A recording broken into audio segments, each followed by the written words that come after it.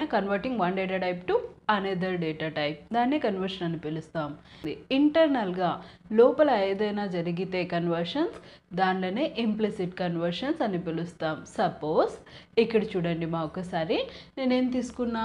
Fifteen అనే ఒక number తీసుకున్నా టూ అనే ఇంకొక నెంబర్ని తీసుకున్నా. డివిజన్ అప్లై చేస్తున్నానమ్మా అక్కడ.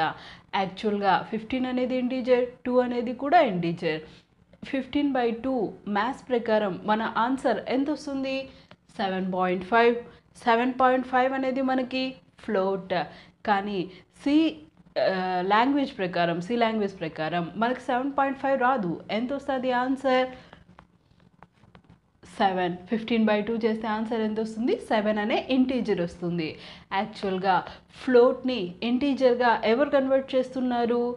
సిస్టమ్ ఇంటర్నల్గా జరుగుతోంది. అలాంటి కన్వర్షన్స్నే మనం ఇంప్లిసిట్ కన్వర్షన్స్ అని పిలుస్తాం. ఓకేనా?